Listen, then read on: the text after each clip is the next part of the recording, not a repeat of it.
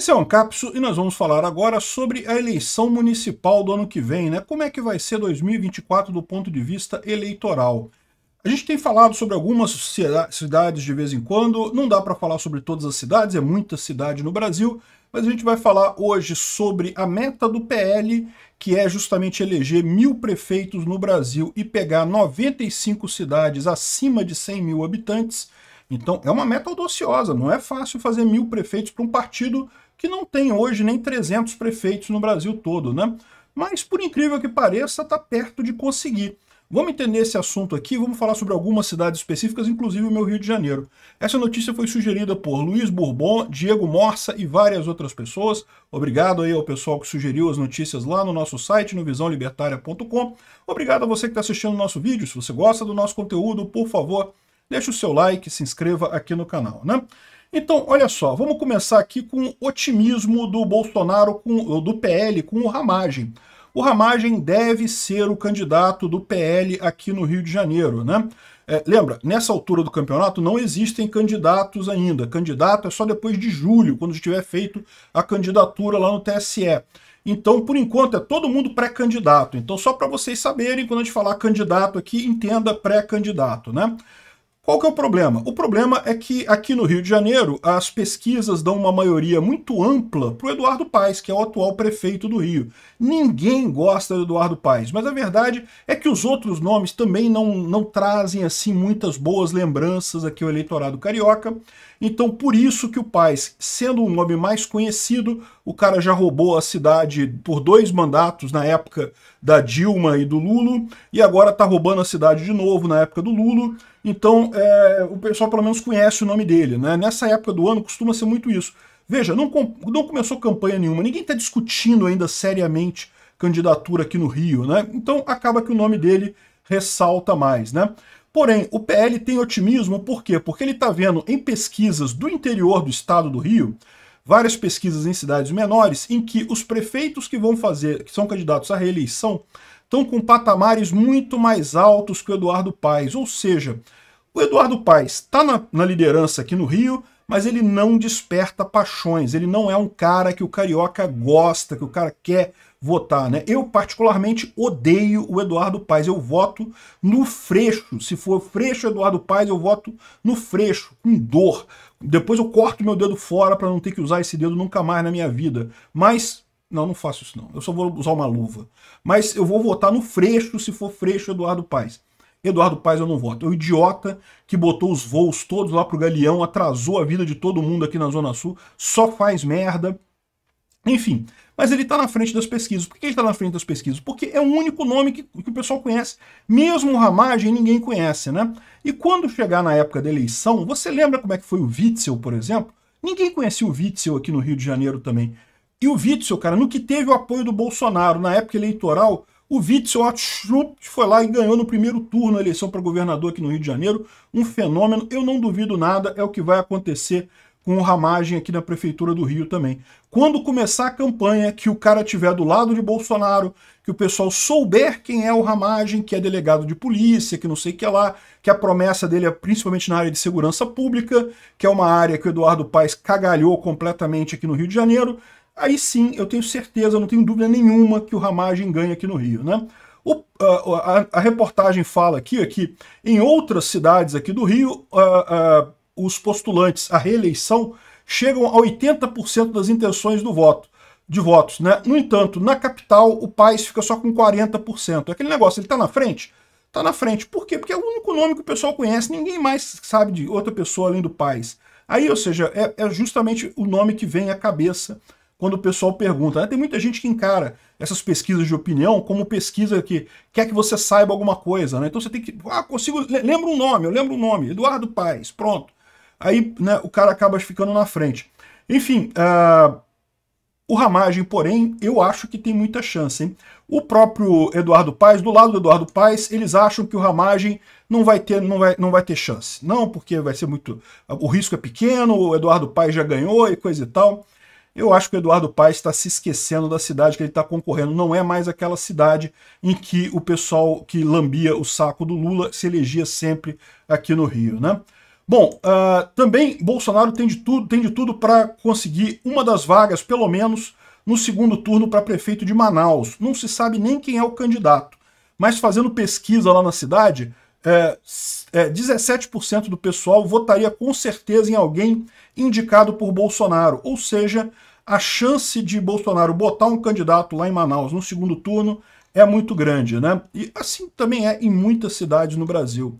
Eu outro dia falei da cidade de Campo Grande, peço desculpas, falei que Campo Grande ficava no Mato Grosso, que lambança, né? Campo Grande fica evidentemente no Mato Grosso do Sul, mas falando de Mato Grosso, eh, os prefeitos de Cuiabá, Rondonópolis e Várzea Grande vão ser eleitos também pelo PL. Segundo as, as indicações do pessoal aqui, o PL vai eleger com facilidade esse pessoal. Não tenho dúvida, como eu disse, Centro-Oeste, Bolsonaro é muito forte, né? Sul, Centro-Oeste e Norte, Bolsonaro é muito forte. Sudeste também. Não é tão forte quanto a gente gostaria, né? Se fosse mais forte aqui no Sudeste, teria levado em 2022. Mas a isentosfera lá de São Paulo meio que deu uma vacilada e coisa e tal. Enfim, mas tem outras notícias aqui que eu acho bem interessantes, né? A meta do PL, como diz o Braga Neto, é conseguir mil prefeituras em 2024. É um número significativo. O Brasil tem 5 mil prefeituras. Para fazer mil prefeituras, um partido que hoje tem menos de 300, é muito difícil, né? É, vai passar por ter é, bons candidatos em muitas cidades, vai passar pelo apoio do Bolsonaro, certamente, mas sem dúvida alguma tem muita chance de conseguir isso. E para conseguir isso, um ponto fundamental aqui é justamente a questão da polarização. Né? O CEO da Atlas Intel aqui está falando justamente que o debate sobre a gestão pública deve ser menor na eleição do ano que vem. Eu já tinha falado isso para vocês, né? Embora teoricamente, geralmente, a discussão na, na eleição de prefeito seja muito mais focada em capacidade de administração, não, o pessoal não liga muito para a política, mas no final das contas, sim, é, nessa eleição particularmente é muito importante eleger gente de direita, porque vai ser nessa eleição que a gente vai fazer a base para conseguir eleger Bolsonaro em 2026 ou outro candidato que ele coloque lá em 2026, né? Então ele está dizendo aqui o que a gente já está falando, que é, deve ter uma, um foco muito grande na política, na ideologia, muito mais do que capacidade de governo nas cidades, né? Eu acho que isso é uma coisa positiva, cara. O brasileiro está acordando para a importância da ideologia, para a importância das pessoas serem a favor do livre mercado, serem contra o socialismo. Então isso é uma coisa muito positiva, né? O, o blog conectado aqui do Sérgio Denicoli no Estadão fala aqui que é, é, o poder da comunicação bolsonarista na manutenção da direita e na oposição do governo. O pessoal está apavorado. Como é que pode? Bolsonaro ainda consegue motivar a direita? É o que eu falei para vocês. Esse pessoal achava mesmo, achava de verdade que Bolsonaro tinha uma grande estrutura de influenciadores de direita, igual o PT está tentando criar, né? Estão tentando fazer lá com, com o Paulo Pimenta, criar lá os divulgadores da esquerda, disseminadores contra fake news e não sei o que lá, que a gente sabe que vai ser para disseminar fake news, aquela porra. Mas enfim, é assim que eles vendem a coisa. O que eles estão tentando fazer o que eles achavam que Bolsonaro tinha. E eles achavam que tirando o Bolsonaro da presidência, ah não, Bolsonaro acabou, não vai ter mais nada, não tem dinheiro mais ah, engano enorme deles. Não, isso nunca foi de cima para baixo, sempre foi de baixo para cima, né? Então não teve mudança nenhuma. Eles falam aqui que estão impressionados como é que o Bolsonaro consegue manter esse tipo de coisa e tal, manter a, a capacidade de disseminação de informação e coisa e tal. A crítica à mídia tradicional é uma constante. É lógico, vocês erram pra caramba, meu amigo. Só vocês que acham que vocês são melhores do que a gente. Né? alegações de disseminação de desinformação, fake news e silenciamento de vozes dissonantes do governo são pontos centrais nessa abordagem. Pronto, falou tudo. É verdade, é isso daí. E corresponde à realidade, as pessoas percebem isso. Você pode ver simplesmente mostrando as matérias da mídia, né? O principal alvo é a Rede Globo, que foi mencionada frequentemente de forma pejorativa no período observado. É, concordo, a Rede Globo é muito é, atacada, até porque é o principal meio de comunicação da esquerda no Brasil, né? Enfim, uh, o cara coloca aqui que a narrativa Aqui, ó, em termos de propostas, a narrativa é pouco profunda, deixando de fora um debate mais qualificado. Eu discordo. Ele fala que é pouco profunda porque sempre que esse pessoal da esquerda olha para as pautas da direita, eles olham com os olhos da esquerda. Eles olham aquilo da perspectiva da esquerda. Ah, que importância tem redução de imposto, por exemplo? O que importa é um Estado grande. Então, é uma narrativa barata, uma narrativa sem sentido. Não, porra, isso só é sem sentido para você que é de esquerda, meu amigo. Não, para a gente que é de direita, o, o mais importante é isso. O Estado não serve para nada. O Estado é uma quadrilha que rouba a população. Quanto menos ele roubar a população, melhor para todo mundo, né? Aqui, ó. Um desses indicativos se baseia na ideia da redução de impostos. É um dos pilares apresentados e percebidos como conquista do governo Bolsonaro. Para ele é coisa, não, é, é, não tem um debate mais qualificado, né? Olha o absurdo desse cara. Não, o debate é esse. É que eles olham com um filtro da esquerda. Aí para eles parece um negócio pouco. Para mim, eu acho o debate deles pouco qualificado no final das contas. Só falam merda no final das contas, né? Bom, aqui, ó, é, menor intervenção estatal na economia e promoção de um ambiente favorável aos negócios. Também outra medida excelente. Que negócio é esse? Como que não tem profundidade nisso?